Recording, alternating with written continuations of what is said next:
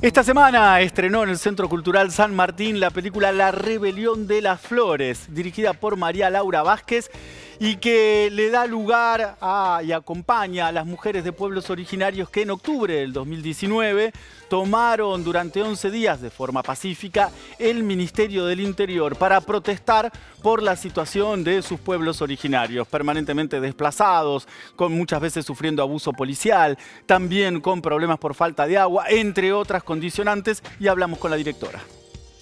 Ahora estamos sin agua en la comunidad. Eso es más difícil porque todos los, los humanos tenemos derecho a tomar agua. La película de la rebelión de las flores registra los 11 días de ocupación pacífica que 23 mujeres de naciones originarias de diferentes partes de lo que hoy denominamos Argentina este, realizaron para poder venir a reclamar el cese de la muerte de los territorios. ¿no? Ellas lo denominaron en su momento y lo conceptualizaron como el concepto de terricidio y nada, es luchar contra todas las formas de muerte que se están produciendo dentro de sus comunidades y en el mundo que tienen que ver desde el reclamo por muertes por sicariato, el tema de la contaminación de las aguas, la falta de agua, las políticas extractivistas que se están desarrollando en los diferentes territorios. Se habla mucho de cuando los hombres salen a luchar, ¿no?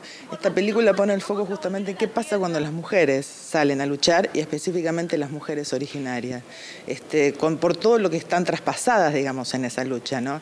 Este, creo que la película relata muy bien también todas las implicancias que implica ser madre y salir a luchar, ser eh, esposa o compañera de alguien y salir a luchar, o sea, traspasadas por una cotidianidad que en general este, repele la, la, militancia de las mujeres en general y de las mujeres originarias, con lo cual me parece que relatar la lucha desde las mujeres originarias es muy importante están siendo vulneradas en sus derechos, que también son vulnerables en sus emocionalidades, y esa la película no lo oculta, ¿no?